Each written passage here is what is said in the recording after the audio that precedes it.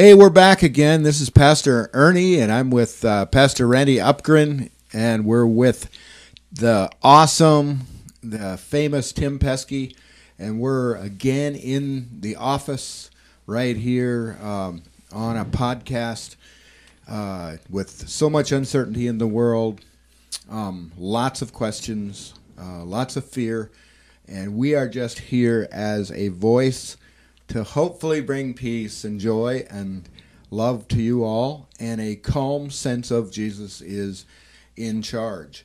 And today uh, we are we are coming from a book that Pastor Randy Upgren has written called "The End Is the Beginning." It's betting your life on the ultimate second chance. And and Randy, you wrote this book how long ago? Uh, it was 2016, summer of 2016. Yep. In 2016, he locked himself into a room for like two or three weeks, practiced social distancing, and uh, and came out with this. Uh, I'm really digging this book. Um, I'd call it a masterpiece. Maybe because I like you, Randy. Yeah, I think you're biased. But maybe Yeah. I'm biased. Yeah. But uh, we are going to talk about today some subjects that's going to be very important to you, and I think you will learn and grow through this, and I think you will find more peace in it. We're going to talk about weathering storms, but we're also going to talk about uh, something called anonymity. and the story of Noah. And the Uh, story the of Noah. of Noah. Yeah. Absolutely. And and uh, so you had some Bible verses, Ernie, that you were sharing with us earlier. Why don't we start by uh, sharing some of those verses with our friends? Yeah, I did, and these will come into play uh, much later. And, and it's always on where should we remain anonymous? Where should we, where should we come out and actually speak? And in a time like this, all of us are in the place of, of what do we do now and what don't we do now? And those are just weighing against each other because we've never been in this space before. And we look we look in the Word where it was appropriate sometimes to stay anonymous. Jesus himself, in many places, he he became lost in the crowd when key people were looking for him, and he wanted to remain anonymous. He told his mom at one time, "Shh, don't say anything." I Actually, he told multiple people that lot early people. on in his ministry. Yep. You know, don't tell Yes. anybody I did this because it wasn't his Yes. time yet to emerge. I'd rather stay anonymous in this. And then sometimes, uh, sometimes he was out there saying basically, "I am the Messiah," and he knew the difference in when to stay anonymous and when to put that anonymity aside and let the light shine. And so in Luke chapter 19, 39 and 40, it says, Some Pharisees told Jesus to silence his disciples, make them stay anonymous. But here's what Jesus said He says, I could do that, but, and this is a paraphrase, if I do that, the very rocks that are around us will cry out. Now that's energy, is what it is. Jeremiah 20, verse 9 is, is very insightful. It says this, and here's what Jeremiah said, and I can feel this inside when I read this. But if I say, I will not mention his word or speak any more in his name, his word in my heart is like a fire shut up in my bones. He says, I am weary of holding on to it. He said, Indeed, I cannot keep it to myself. Uh, the redemptive qualities of God, um, I think we'd all agree, cannot be hidden. They do not serve uh, anonymity very well. The virus does not serve anonymity very well when it comes to bringing hope and joy and love and peace to our so to our neighbors. And so we're going to open this conversation in a second. And so I'd like you all just to bow your heads with us. And then we're going to pass this over to Pastor Randy, who's going to tell us what he was thinking when he read this, when he wrote this book. And then we're going to discuss it, and hopefully it helps you. Dear Heavenly Father, as I speak through these airways right now, we're, we're mighty happy that we have these airways to talk to people over and to connect socially through the airways, Lord, when we cannot connect personally. God, we need you to do in our world things we can't do for ourselves.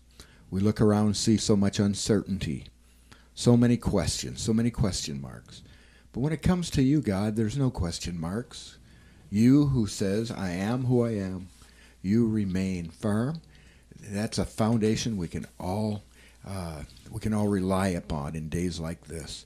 as we talk about weathering storms, God, and when to be anonymous and when not to, I just pray you will guide our conversation in the name of Jesus. Amen.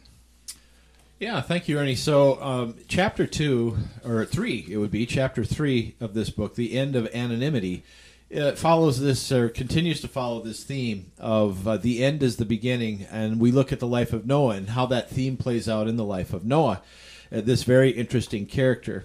And so we, we look at anonymity and we say, well, anonymity is can be a good thing or a bad thing. It's what we call an instrumental. Yes, It's yes. it's an instrumental entity, meaning it can be either good or bad depending on how it's used.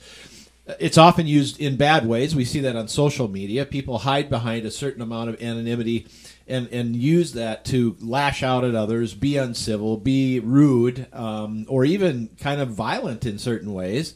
Um, you see, anonymity is a bad thing when we see how, for example, um, uh, sexual predators have underground groups on the dark web, and they encourage each other and yes. they help each other. Uh, but anonymity can also be positive at times. Sometimes it's good for somebody who's struggling, say, with an addiction, and, and they need the anonymity of, a, of an AA group, for example, to help work their their stuff out. Um, sometimes anonymity can be a, a good thing, and sometimes anonymity is neutral, and sometimes we like to be neutral, meaning we like to blend in. I think Noah probably uh, we don't know personality what he was like, but we get the sense that Noah was rather anonymous up until the point that God calls him to essentially build an aircraft carrier in his driveway In the desert. right? And here he is. He, the world is has gotten just breathtakingly evil. Okay, The- tell us how breathtaking well, well, because this is staggering. Yeah, well, the scripture is doesn't you know mince anything about it. It says that the world had become, or mankind had become, only evil all the time, only evil all the time. Chapter six of Genesis, and I mean, so there's no gray in this. That that God has passed judgment that that humanity, with the exception of Noah, was only evil all the time. But Noah, it said, walked with God. That doesn't mean Noah was perfect. It just means that Noah had a relationship with God that still had integrity, that he was humble before God, that he walked with God, that he understood his need for forgiveness and guidance from God. He was the only one, he and his family. And God calls him, like we said, to build this monstrosity as a not not just as a um, a cradle, not just as something uh, a boat of salvation for he and his family, but we have to remember that this served as a testimony to God's judgment for at least somewhere in the neighborhood of seventy to hundred years to his neighbors while he was building it. You don't hide that kind of a thing. He No. wasn't hiding that under a tent or under you know the trees in his backyard. He's- Noah's boat was 437.6 feet long, okay. 72.11 feet high, and 43.9 feet wide. So basically, Wow. the size of a football field. Yes. A little longer than a Longer football than a field, football not field. quite as wide, but but pretty wide. And yeah, I mean this is a massive, massive structure, and God is calling him to, to do this. And we have to we have to think about you know some key things that are going on. He is no longer given the option to be anonymous. And as the world gets darker and more chaotic and more uncertain, I think that perhaps the lesson for all of us is we don't we're not given the option to be anonymous. Now social isolation as we've all been practicing is not the same as being anonymous. No, it isn't. That's not the same thing. And and and so I think we want to talk a little bit about what that means to us today. Noah has he cannot hide anymore. He has to follow, you know, this command of God and it's going to become very public. Um, it's not always easy, is it, Tim, to, to do this? No, and I think of, um, you know, I work with a lot of volunteers around here, and we're always going, how do we get more volunteers? How do we get more volunteers? And I know there's people sitting in our congregation that show up every Sunday, every Wednesday, who have amazing skills, but they'd rather, oh, they, I'm not as good of a singer. I'm not gonna say I can sing on the team. I, I, I couldn't be as good of an usher. I can't be a good of a, whatever it is, and they're in Yeah. love with being anonymous, and they're not joining a ministry because I'd rather be anonymous. Because if I do something and I make a mistake, people are going to see me. Right. Yeah. You Right. know, we see that all the time, and getting volunteers because they want to stay anonymous. I think is one of those times where it's like, man, I really wish people wouldn't want to be anonymous. Flip the coin. We've got volunteers who are crazy involved that want to stay anonymous because they get it. It's not about me, the volunteer. It's about the bigger picture of serving Jesus. Absolutely. Interesting. So we find ourselves in times like this where so much of what we used to control, we kind of don't control, which requires us to, to, to kind of pivot a little bit in our lives. But then the question comes, how do we how do we do that and not slide into sort of this compliant anonymity? Um, make sure that, like you were talking, Tim, earlier about, um, are we maybe being shy about talking to people about Jesus in in ways that uh, we shouldn't be uh, at times like this? Because it is during these times when people are most open to spiritual Yeah. conversations. The Apostle Paul would say a mighty door of opportunity is open to all of us. And it, how easy of a time right now is it to share? All you have to do is literally hit the share button Yeah. to the podcast, to the worship service, to the whatever it is. Even if it's not ours, hey, you find a really great uh, sermon from Podunk, Minnesota that was really great, share it. Because people can either go, I don't want to watch that, or maybe, just maybe, one person watches it and their life changes because you hit share. Right. So one of the things we have to understand is that if we are going to uh, find ways, whatever creative ways they are, to share the gospel with people, to share Christ with people, we are going to encounter resistance. We are going to encounter rainstorms and wind and lightning and thunder and all the things that go with storms. Uh, God is not going to steer us away from storms. He will sometimes be with us as the storms kind of surround us. That's part of what happens. Uh, one of the there, there are a couple of theological points about the story of Noah that I think need to be pointed out that I make the effort to do in this chapter. And the first one is is people often want to say, how could God just pass judgment on the earth just like that? Just boom. Only evil all the time. Yeah, but really, seriously, what about the children? I mean, the children. I mean, the, um, the, how could you say that about the children? Well, I've, not. I've met evil children. Ah, I worked in the public school. They are evil children. Okay, yeah, maybe in Absolutely. private schools too, but uh, but here's the there, there there are a couple things about that. Number one, uh, God when He proclaims judgment in Scripture, we see that there is always the possibility of repentance within that. Um, because we see him do it with Jonah and Nineveh, Nineveh, for example. He offers that possibility for Sodom and Gomorrah. And so Noah's building this ark. It takes somewhere in the neighborhood of 70 years or more to build this, and that ark sits there as a testimony to the people. If the people would have seen this and turned, I think it's reasonable to say, based on what we what else we see in Scripture, God would have relented on this. But of course, they didn't. Absolutely. And and and it's not just seventy years either. By the way, how long did God allow for this to happen? Yep. Uh, in in the midst of those people, we know that Noah had predecessors that were also considered righteous. righteous. Methuselah, for example, and others. There were these people who stood as testimonies to this growing evil um, in humanity, and finally God said, "Okay, that's that's it. Um, we, we we're going to have to move forward." But the second thing is when we talk about children, and and and I get this I do not want to sound flip when I say this. I really don't. But we we have to remind ourselves that God sees what we don't see. We see a 10-year-old child and we say, "Well, how can that child be guilty?" But God sees what that child is going to become. We don't. He he he, he you know, there was a time when Adolf Hitler was a 10-year-old boy. And and so he when he passes judgment in situations like this and in later situations, God sees what we don't see. He sees the trajectory of where this is and who these people are and where, where it's going. We see Yep. that later when the Hebrews take the land from the Amorites. Um, so we have to keep those two things in mind. God is incredibly gracious. We see that continuously um, throughout the uh, the Old Testament. Randy, you say something here very interesting. You say a common misunderstanding involves the idea that God used the flood to deal with the presence of sin in the world. You called that an oversimplification.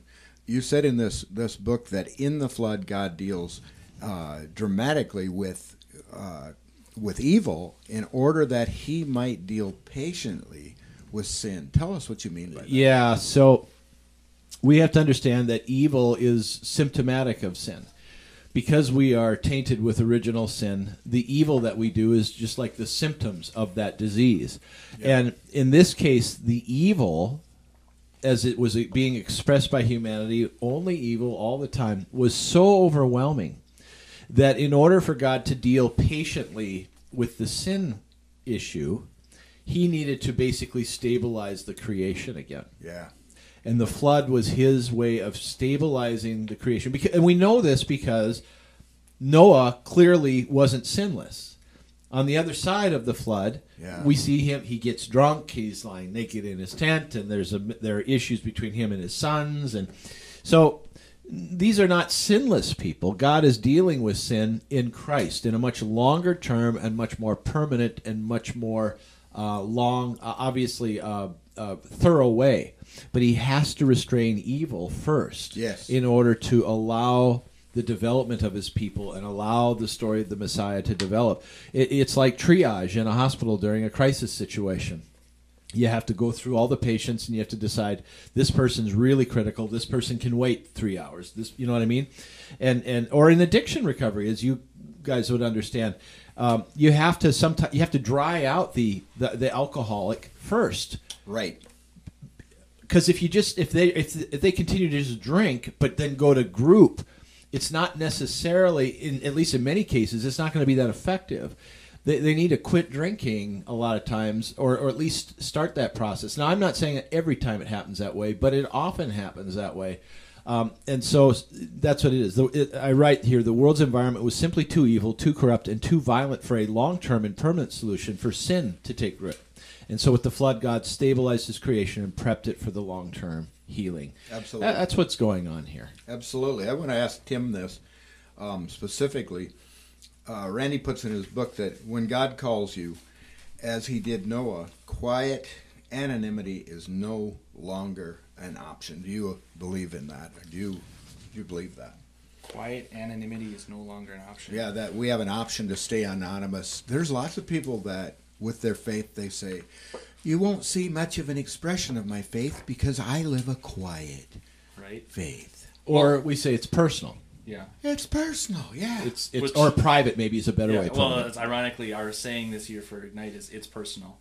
Um, but we don't mean it that we- way, Right, and we actually had a guy who was kind of offended by that, and I said, "Well, yeah, it's it's personal, because God takes this whole thing and brings it down to just Ernie and brings it down to just Randy and Tim." Um, what I was kind of struck by as we were talking here, because I like to see when God flips the script, um, and maybe I'm I'm wrong here, guys. You guys are the pastors, tell me, but he- God wipes out all people to save one man in Noah, and then when Jesus, he wipes out one man to save all people. Ooh. Yeah. Well, and he does, doesn't he? That's a really good observation. And, and what if you know Jesus had decided, you know what? I know I'm special, but I I gotta stay anonymous. Don't don't tell anybody about me for everything. You know, Yeah. you had talked earlier that yeah, there was times when he had to blend into the crowd. I'm sure glad he didn't choose to stay anonymous. Of course, we can always choose. That's that's the great and horrible thing about God is He gave us this freedom to choose because without choice, there's no real true love Yep. of God. Right. Um, so of course there's a choice to stay anonymous, but it's not going to go well for you if he's Yeah. tapped you on the shoulder and said, "Go, f- go forth." Just ask all those guys in the scripture how that went for them when they said, "Not me, God," I, and it's not. No, don't pick me. Well, it's crazy because at the point of salvation, it says He gives us everything that we need for godliness. He He puts inside of us love, and and love is the most powerful thing ever seen. And peace. He gives us joy. He gives us all of those things, and it's contained now inside of us. And maybe that's what Jeremiah meant. It's fire in my bones. I cannot keep this in. But there's also a scary side if we truly surrender to the Lord, isn't there? I think all of us would say that. Because Randy puts in his book, what is God going to ask of us? if we truly surrender and we come out of anonymity, as long as we're in anonymity, nobody's going to ask us questions. As long as we don't live out our faith and we live it quietly behind the curtain, I'm going to heaven, but I'm not going to get asked a lot of really hard questions in my life. What do you think the, about the that? devil's not afraid of anonymous Christians.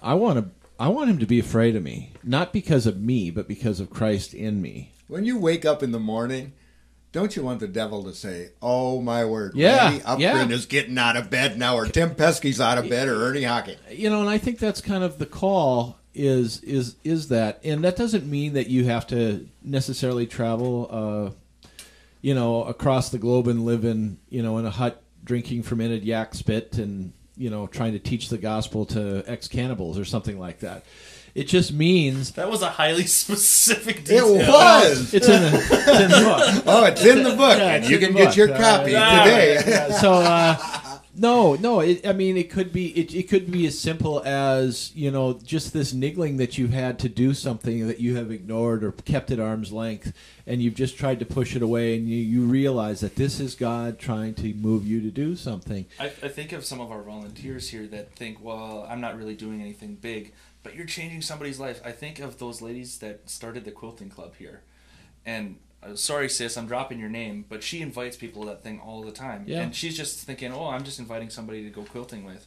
No, you're bringing them into our church. You're surrounding with all these other people. right And in bringing them little into an environment of the gospel Right. right And in our own way, I think all of us have these little things. You know, we started Inspired Tires. What's the point of that? A bunch of people driving around in fancy cars. No, it's because I want to get to the guy who loves to hang out in cool cars but doesn't want to go to church. Right. hang out with us. We're, we're just we just happen to meet at a church and we just happen to say a prayer occasionally. You know, Right, it's like right. now we've hooked them. You know, that's why we do those little things. Take those those things that God put in your heart that you love doing. Maybe you love doing photography. Start a club and you know, hey, I go to Inspire and now you've got people you know through that. That's why he puts those things that you love doing that you Yep. think is oh that's just my little thing I like to do. How can I use this to serve God? Find a way to take those desires in your heart to no longer be anonymous and say, "Hey, let's do this." We got people bringing Yep. puzzles here to share with people. I mean, Yep. all this cool stuff that's just hidden around us. You just got to go. How do we find God in that? Okay, so on that, I think we need to shift just a tiny bit because we don't have much time left. There's another part of coming out of anonymity that I don't know if Noah, uh, I don't know if he saw coming. Maybe he did, but probably not in the fury that it came in. Um, we noticed that God called him out. He couldn't be anonymous for those 70, 80 years that he was building the boat. Finally, he got on the boat, and my goodness, was he in for a ride of his life. Um, uh, I say don't hide from the storm, but fight it. But what a rough, stinky mess that had to be for 40 days in a boat with all of those animals. Well, and it was longer than 40 days Oh, because yeah. it, it rained or, You're or the waters came for 40 days, and then they had to be in the boat long enough for the waters to recede. So they were in there for quite a long time. What a ride! 480 days. It was quite a long time, yeah. And, and so, you know, he, he- we have to understand that anonymity is is nice and easy and clean. Serving God most of the time isn't. It just isn't. Boy, that's well. It's a messy existence, Yep. says Phil or Yaconelli. Right. Right? And, Messy. Yeah, yes, it's messy, but it's a beautiful messy. It's a beautiful kind of messy. And and so I think that um, we have to sort of embrace that kind of thing. Uh, and sometimes it takes strange, interesting, you know, turns. I think we need to close here with just some, uh, you know, uh, some takeaways for people, and then I'll close with the last couple cha- uh, paragraphs here of the book. Um, some practical takeaways, you know, like uh, I want to just share with our audience tonight. Like, you know, the three of us and my son Josh just spent an hour. We went to the neighborhood and we made these, you know, the hot sheets we do for our normal services, which we don't need right now. We had a new hot sheet, hot sheet made for the neighbors, and we we went and put them on door hangers and we hung them all around the neighborhood, around the church here, just letting our neighbors know, hey, we love you. We know you're there. If you need help, here's our servant group. Go on there. Let us know what your needs are, and our people will meet your needs. Now, I don't know if you actually ran into anybody when you were doing this. I did. One of our neighbors, they called me over, and I explained to them, and they were so grateful, and they were so That's really cool, she said. And before people freaked out, we wore gloves and Yes, we we were very did. careful. We Not did. we were wearing gloves, And and, we made sure everything we, was we- done We took every properly, so- precaution. Yep. But they were just so thrilled that we were thinking of them. Uh, little things, right, like that. But there are sometimes when we serve God, the storms come to us, and then sometimes in our own. Um, I don't know what you want to call it, in our own weakness or we're not thinking or whatever, um, we walk into storms that aren't necessary. And so, one of the practical takeaways I want to give to people is this: is that as you seek God's will and how you should not be anonymous during this time, I would also ask you to, while you do that, protect your heart and protect your mind, because the devil wants to, he wants fear to rule you. He wants fear to drive your behavior, not hope, not Christ. Um, and I'm not saying, of course, we should be prudent. Absolutely, we should be. Uh, but for example, if you're a person prone to anxiety, that you're just prone to getting really worked up over when you hear bad news and stuff, be wise about how much of that you consume in a day. Don't go on Facebook for three hours looking at stuff because half of it isn't true. The other half you're not sure if it's true. Absolutely. And we live in a world today where our media absolutely makes its living on hyping and amplifying things. We we know that's true. So be wise about how much you consume uh, in terms of information during these days, and, and in fact balance that out with things that build your spirit, like the Word of God, like a good book, um, like some journal time, some prayer time, things like that. Um, you need to do that, ladies and gentlemen. And so if you you you have to know yourself during this time, and if you know you're prone to that, be careful. Be wise about how much you consume and where you consume it. Um, so that's a, a takeaway I'd throw out there. You guys can do one quick. Um, okay, I'll throw out another one. Thank you, Randy, for that. Um, I think uh, we all need to work at, at staying positive and not hiding, not hiding those things that God put in us at salvation. Actually, unleashing things like love and kindness and hope and courage. In uh, in his book by Philip Yancey, in a book called Vanishing Grace, he says, "What happened to the good news? That we're supposed to spread the good news." Um, this uh, female executive, she went to a seminar, and the the person putting on the seminar talked about how to unleash love actually in the marketplace, which is not a subject that most people will talk about. Uh, and she decided to take this this personal, and she had 13 people working under her. And that very week, she walked down the hallway of that, and she began to ask them about their lives. One man thought that he was being fired, and he was scared to death because this woman never showed up in his cubicle. She said, "No, I just want to know who you are." And they found out that within a couple months after that, the company, which was actually in a dive, began to actually take an upswing. And they were actually working in the black now. And her executive said, I don't know what you're doing, but whatever you're doing, we need to teach this to the whole company. And all it was was just using the gifts that she had uh, with the people that normally she would have just been anonymous to. She took a risk in love, and love takes a risk. That's beautiful.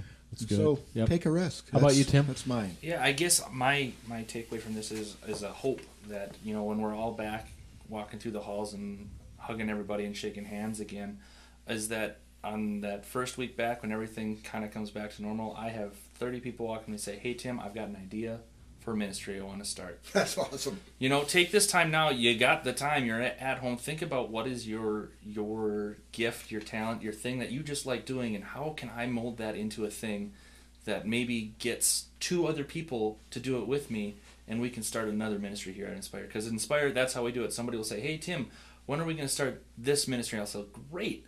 When can you start it?" And we'll support you with it.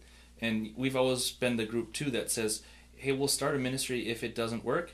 Okay, we tried. No big deal. Try again. Right. Nobody's gonna get mad at a ministry that that goes away after a year because for a year it was fantastic. Yep. So I guess that's my takeaway: is spend this time, figure out, man, how can I come back and really take Inspire into the black in terms of ministry of, hey, here's a no idea. Here's all these new ministries that come out of this that we discovered doing in this solitude time.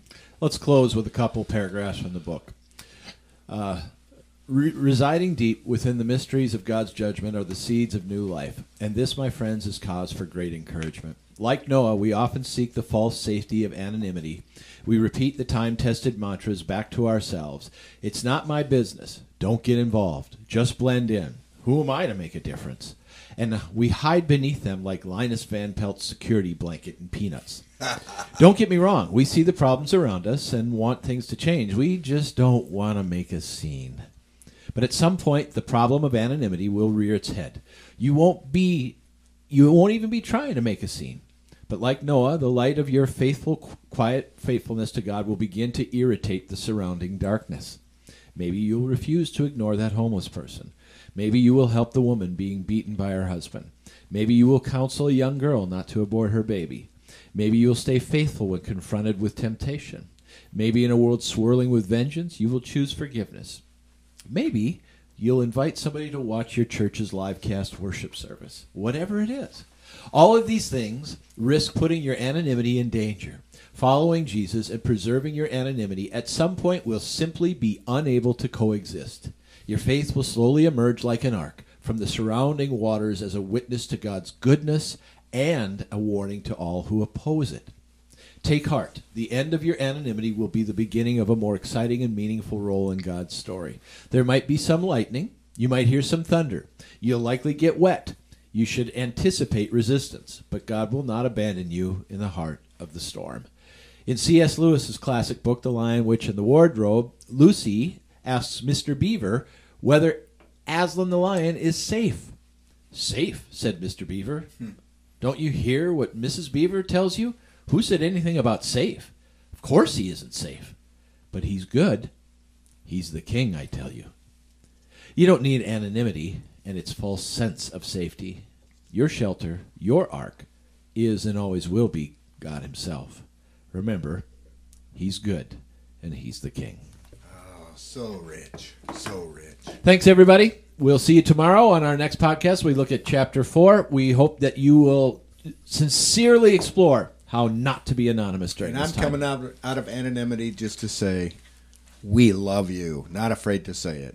God bless you. See everybody.